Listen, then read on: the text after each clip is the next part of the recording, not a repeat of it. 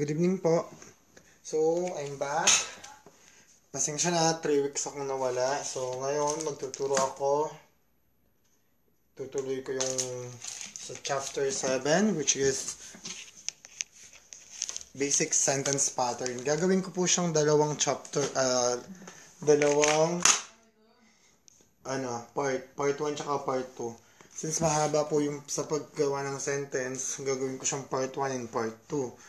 Ngayon, ang aaralin muna natin yung mga basic kung paano gumawa ng sentence. And after this one, mag-live ako ulit. Magbibigay ako ng mga ng sample listening exam.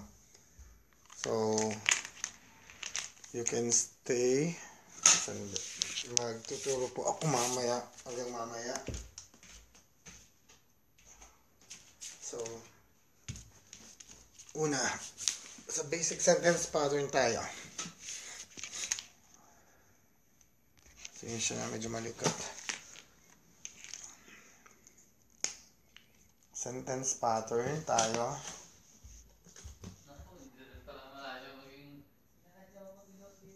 Sentence pattern base. Yung basic muna aaralin natin. And then after this one, yung mga after the basic sentence pattern, ang aral naman natin is yung mas mahaba naman po na sentence. Mas pahaba ng pahaba aralin natin. So, sa paggawa po ng sentence, sa paggawa ng sentence, ang unang gagawin natin is alamin natin yung pagkakasunod-sunod ng sentence. Ang unang kukunin po sa sentence, 'di ba sa sa atin mauuna is subject, object, verb. Yung sub pattern sa English. Pero sa Korean po iba yung sa kanila. So, magpo-focus tayo ngayon sa Korean sentence pattern. Okay. Ang unang hahanapin sa sentence pattern sa Korean is yung subject. Subject particle. Sa subject particle po, ito yung mga nilalagay sa mga subject ng sentence. Dalawa yan.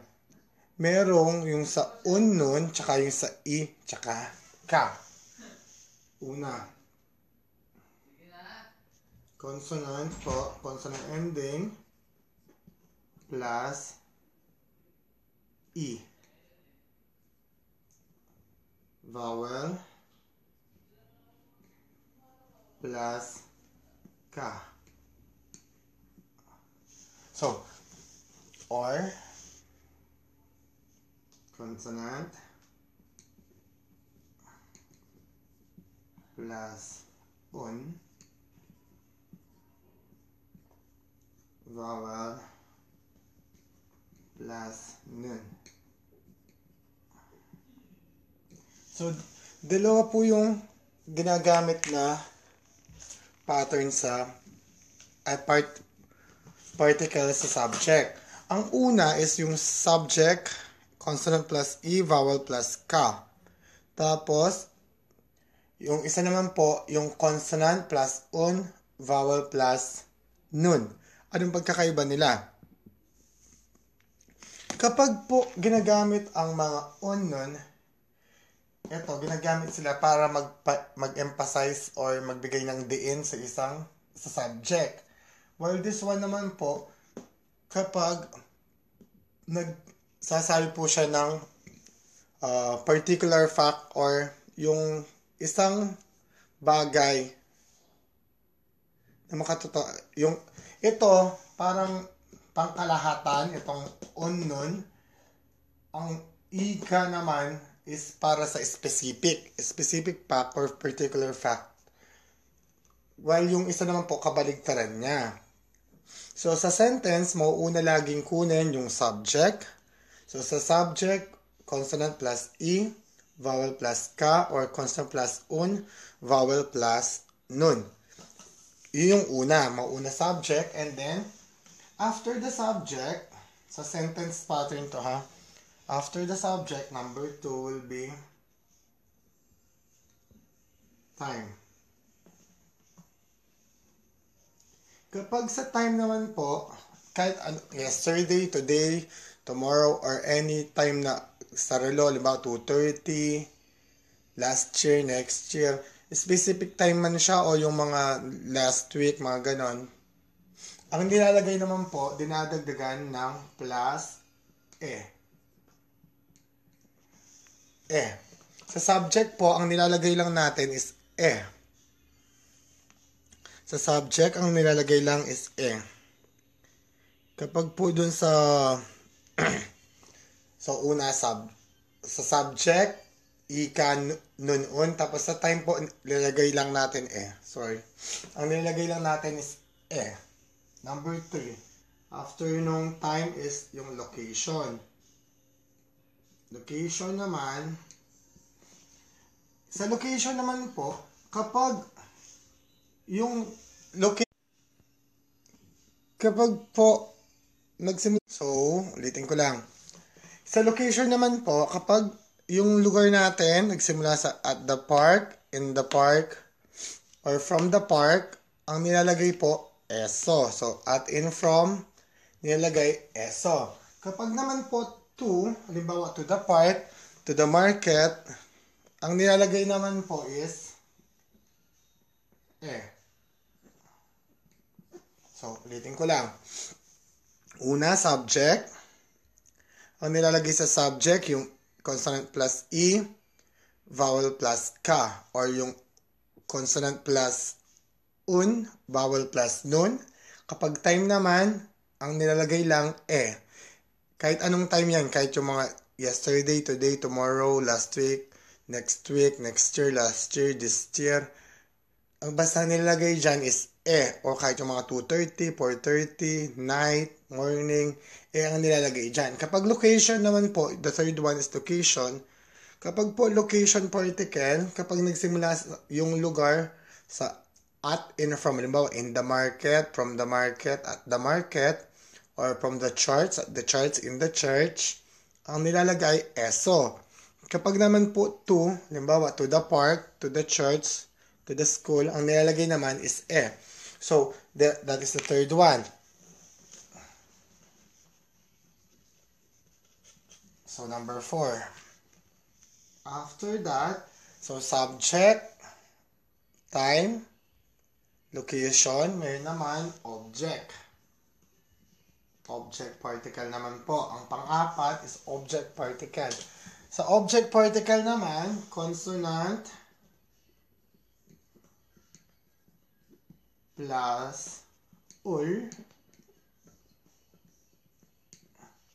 vowel plus rule.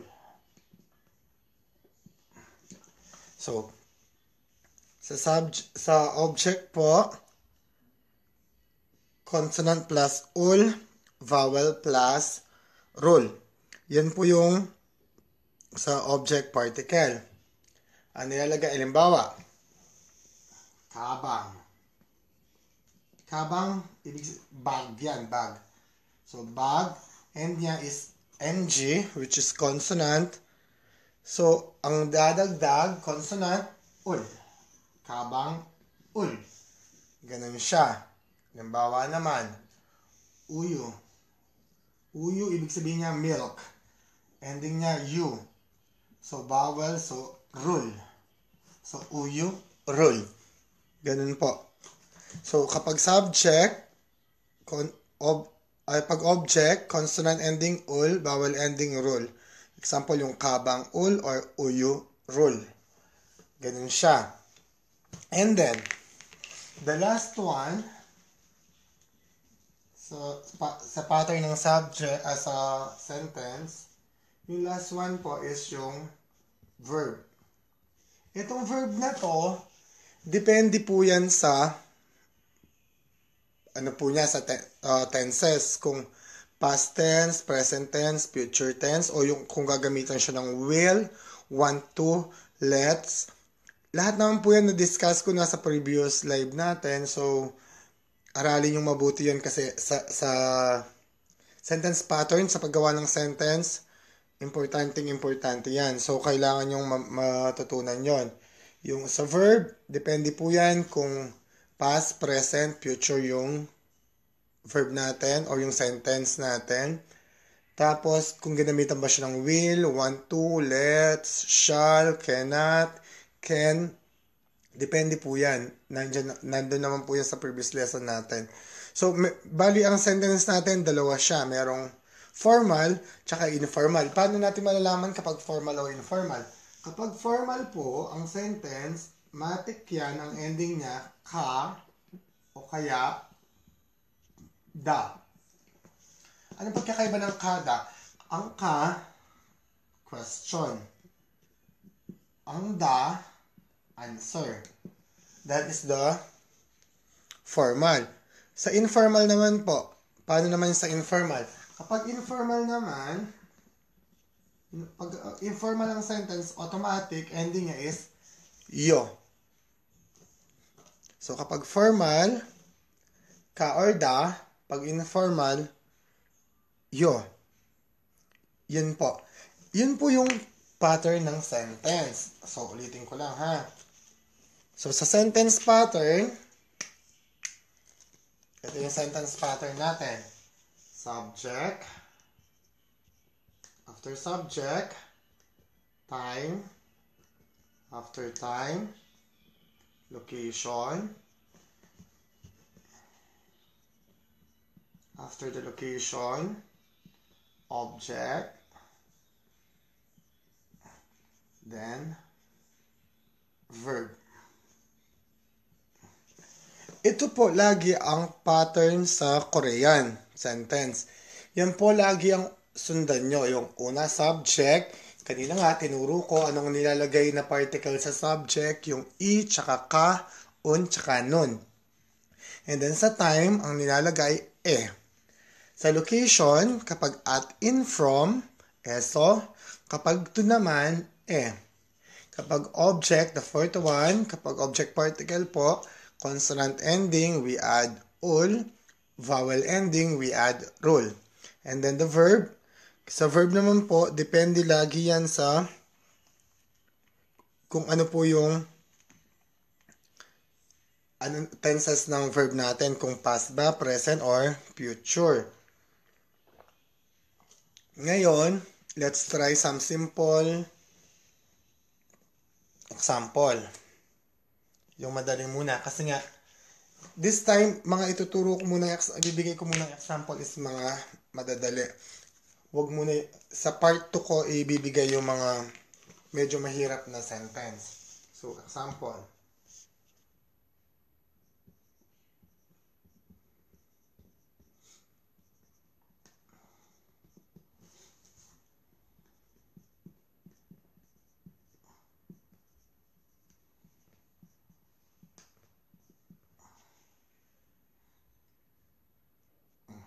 Kompletuhin natin.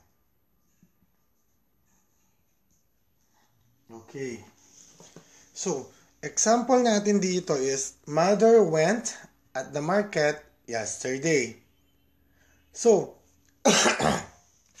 ang sentence natin na to, nasa anong tense siya? So, since dito, ginamitan siya ng went, tsaka yesterday, ibig sabihin ang sentence natin, past tense siya. Past tense. So, nasa past tense po yung sentence natin dito. So, anong unang kukunin natin dito? Ang unin yung gawin, hanapin nyo yung subject. Ito ngayon, 1, 2, 3, 4, 5. Yan ang pagkakasunod dyan. So, alin ang subject dyan? Yung mother. So, ang mother, magiging number 1. And then, time. Alin ang nagsasaad ng oras dito? Yung yesterday. So, yesterday is number 2. The next one, location. Alin ang location dito? Market. So, 3. Object, wala. Verb, wala tayong object. So, verb na tayo, number 5. Number 5, went. So, Or lagyan natin number 4, huwag na 5. So, ang mangyayari niyan, mother is number one. So, mother, yesterday, at the market, went. Ganyan ang mangyari sa sentence natin. Mauna si mother, yesterday, at the market, went. So, ano ang mother sa Korean? Mother is omoni. Omoni. So, o money. Tingnan nyo dito kung ano ang ending ng subject natin. Ending niya is E. So, E. So, since ang ending niya is vowel, anong nilalagay natin sa subject particle natin? Kapag vowel, we add ka. O moni, ka. So, next. Time. Ano nilalagay natin sa time natin? Eh, di ba? So, time natin dito is yesterday. Yesterday means oje. Oje. Oje. So, plus e. E. Next, location. Location, market. 'Di ba kanina sabi ko po kapag market uh, kapag sa location, kapag at in from at in from po yung nauna sa sub, sa location natin, nilalagyan natin ng ESO. Kapag naman po to, halimbawa to the market yan, ilalagay natin E. Pero since at the market, ang ilalagay natin dito sa market, ESO. Market means si Jang. Si Jang, ESO. Bakit ESO? Kasi nga po, at, dahil dito. Dahil po dun sa at. Next, went. Ano ang went? Ano ang verb na went? Ang pinaka-root word ng went is to go. To go means kada kada, di ba? So, lagi tinatanggal yung da. So, ka na lang matitira. So, since past tense yan, gagawin natin ngayong past tense. Past informal. So, we add, pag ending na a or o, we add asoyo, di ba? Kapag past tense, so maglalagay tayo ng asoyo. Bakit?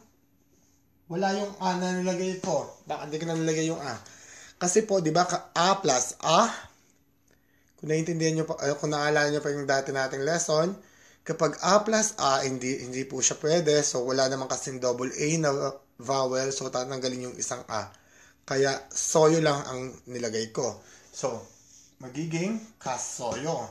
So, ito na ngayon yung Korean translation ng Mother went at the market yesterday. So, 어머니가 어제 시장에서 갔어요. 어머니가 어제 어제에 시장에서 갔어요. Yun po yung Korean translation po ng Mother went at the market yesterday. So, 어머니가 어제에 시장 에서 갔어요. Siya. So, 어머니가 어제 시장에서 갔어요. Yan po yung example natin, number 1. Nakukuha niyo po ba? Nakukuha po. Yan po ha. Another example tayo.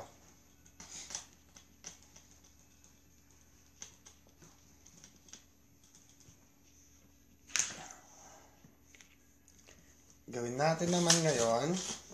Number 2. Hirap ng may ubo. I want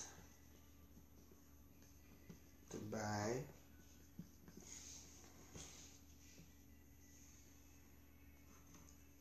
a book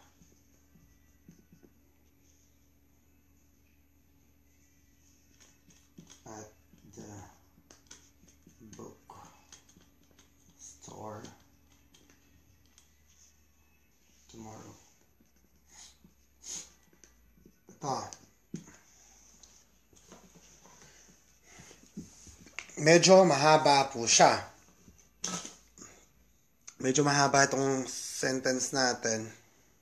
So, example natin, I want to buy a book at the bookstore tomorrow. So, gusto kong bumuli ng aklat sa bookstore bukas. So, this time, ang sentence naman natin kanina, nasa past, ngayon naman po, nasa future siya. Future. Bakit future tense siya? Kasi po, pero this time, ah, sige, mamaya ko yung discussion. Bakit future, te- future tense? Kasi gusto pa lang and then tomorrow. Yun yung mga ano natin. so, same thing na ginawa natin kanina, gawin natin yung pattern. So, number one, subject. Alin ang subject? I. Ako. So, this is number one. Time.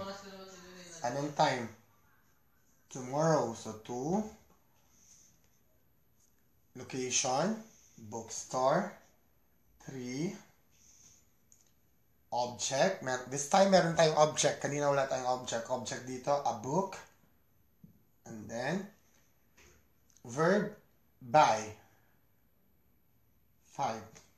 So, so, I, tomorrow, at the bookstore, a book, want to buy. So, I, tomorrow, at the bookstore, a book, want to buy. So, paano natin ito translate to? Since dito, so, una is I, ibig sabihin ng I is cho. Cho. Cho. Since dito, ang ang tanong dito, sino ang gustong bumili ng book? Ako. Ako lang ang gustong bumili ng book. I. I. So, possessive particle siya. So, instead, i ka, instead yung i or ka ang ilagay, ilagay natin yung un tsaka nun. So, ang consonant ending, we add un. Vowel ending, we add nun. So, dadagdagan ng nun. So, maging chanun. Next, tomorrow. Ibig sabihin tomorrow is nail. Nail. Nail. Pag time, anong nilalagay po sa time? Eh. Di ba? So, next. Location. Location natin, bookstore. Bookstore means sojong. Sojong. Ano ang word clue natin dito? At. So, kapag at in from, eso. Oh no. Bakit pala? Eso. So, next, a book. Ano ang book sa Korean? Book means check. Check. Check. So, check. Sa object particle, kapag consonant ending, we add ul. Vowel ending, we add rule. Since dito, ang ending niya is consonant, so we add ul. Check ul. Next, by. Dito, ang ibig sabihin ng ba, ang ibig sabihin ng by is sada, di ba? Instead, nagamitan nyo siya ng mga future tense yung kas, uh, kesoyo tsaka ketsumnida, hindi yun ang gagamitin natin. Bakit? Kasi po, gumamit siya ng want to. So, ang want to, di ba? Kapag want to, ang dinadagdag is ko shipoyo. Na-discuss na natin po yon di ba? So, ang ilalagay natin instead na kesoyo, instead of sa kesoyo or sa ketsumnida, since may want to siya dito, ang ilalagdag natin is ko shipoyo. Kasi nga po, ang ibig sabihin ng want to is ko shipoyo. Excuse me, may ubo ako. So, magiging sago, sagoshipoyo. So, ang ibig sabihin ng I want to buy a book at the bookstore tomorrow is Chunun, neile, sojumeso, chegul, sagoshipoyo. So, chunun, neile, sojumeso, chegul, sagoshipoyo. So, chun, hirap. Chunun, 진우는 내일에 소점에서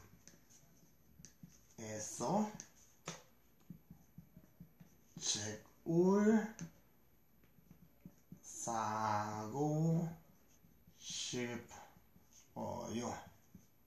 연, 방송 시작, 그냥 까시고. So, mababa pa siya. Tapos ko konta. Pasensya na ha. Unan ko ginagamit ko sa ano. Para makita nyo lang yung ano. So, I want to buy a book at the bookstore tomorrow. So, 준훈 내일에 서점에서 책을 사고 싶어요. So, 준훈 내일에 서점에서 책을 사고 싶어요. Yun po yung translation ng I want to buy a book at the bookstore tomorrow. Nakukuha po? Nakukuha po ba natin? Ang hirap, inuubo ako. Next. Another example. Ouch! Pa pa ako?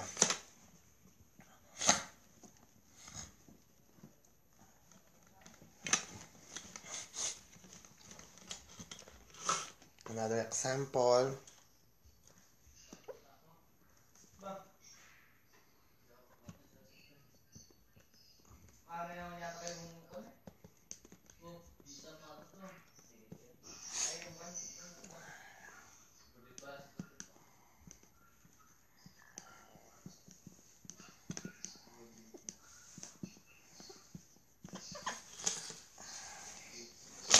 Hmm, simple muna. The student is reading a book. So the student is reading a book. Dito, this time, ang sentence natin is present tense.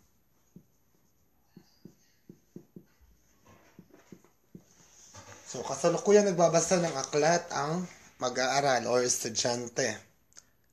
So, this one, unang kunin, subject. Alin ang subject dito? Student. So, one. Time, wala. Location, wala. Object. Then, verb. So, the student, a book is reading. So, the student, a book is reading. The student means sing. Tap sing.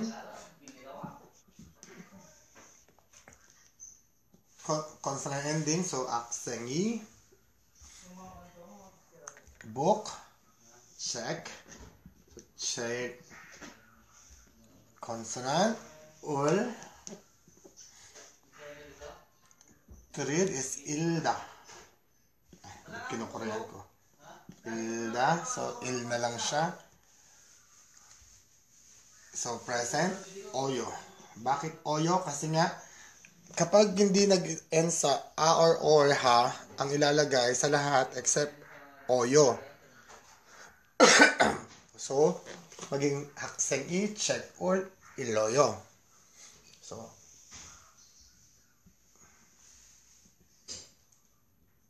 hakseng i, check, or iloyo. Ilkoyo. Iloyo.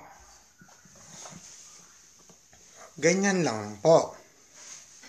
Yan lang po yung sa sentence pattern. So, itutuloy ko tong live ko na to. Tum, uh, mag continuation na mas mahaba. Total ngayon, ang itinuro ko lang naman is yung para sa basic sentence. At after this one, mag-live ako ulit para sa continuation, mas mahaba naman. Gagamitan natin yung halimbawa, the student, I, I, ah, I want to buy uh, uh, pants and clothes, uh, shirt at the market tomorrow, but I don't have money. So, gagamitan natin yung mga but, mga and, therefore, so, if, yung connector sa sentence. Mas mahabang sentence pag-aaralan natin bukas. So, as of now, yung mga basic muna. You can try some example po. And then, subukan yung ipalo yung pattern natin. Una, subject, time, location, object, verb. And then, if you want, you can send it to me para matignan ko kung tama or mali yung ginagawa nyo. After this one, mag-live ako ulit para mapa- ipanood ko sa inyo yung another example ng listening exam. Pwede kayong sumagot, then send your answer to me para ma-check ko rin po. Magla-live ako ulit, papanoorin ko kayo ng listening exam. Ah, sige po, yan muna. Have a blessed day. Thank you, pasensya na sa boses ko at medyo maingay yung background. Kakadating lang kasi ng kasama ko. Thank you, bye-bye.